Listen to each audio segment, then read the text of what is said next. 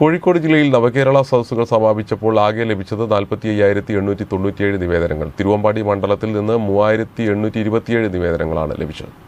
കോഴിക്കോട് ജില്ലയിലെ നവകേരള സദസ്സുകൾക്ക് സമാപനമായപ്പോൾ വിവിധ നിയോജക മണ്ഡലങ്ങളിലെ സമ്മേളന നഗരികൾക്ക് സമീപമൊരുക്കിയ കൗണ്ടറുകളിൽ ലഭിച്ചത് നാൽപ്പത്തി അയ്യായിരത്തി എണ്ണൂറ്റി തൊണ്ണൂറ്റിയേഴ് നിവേദനങ്ങളാണ്. ഓരോ സ്ഥലത്തും ഇരുപതോളം കൗണ്ടറുകളും നൂറിലേറെ ജീവനക്കാരെയുമാണ് പരാതിയും നിവേദനങ്ങളും നമ്പറിട്ട് സ്വീകരിക്കുന്നതിനായി നിയോഗിച്ചിരുന്നത്.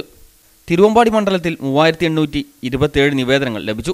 കൊടുവള്ളി മൂവായിരത്തി അറുന്നൂറും കുന്നമംഗലം നാലായിരത്തി ഒരുന്നൂറ്റി എഴുപത്തൊന്നും ബേപ്പൂരിൽ മൂവായിരത്തി മുന്നൂറ്റി തൊണ്ണൂറ്റി ഒൻപത് നിവേദനങ്ങളുമാണ് ലഭിച്ചത്.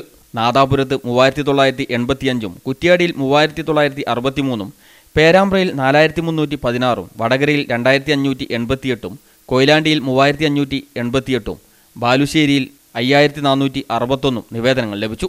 എലത്തൂരിൽ മൂവായിരത്തി ഇരുന്നൂറ്റി ഇരുപത്തിരണ്ടും കോഴിക്കോട് നോർത്തിൽ രണ്ടായിരത്തി ഇരുന്നൂറ്റി അൻപത്തിയെട്ടും കോഴിക്കോട് സൗത്തിൽ ആയിരത്തി അഞ്ഞൂറ്റി പതിനേഴും നിവേദനങ്ങളാണ് ലഭിച്ചത്.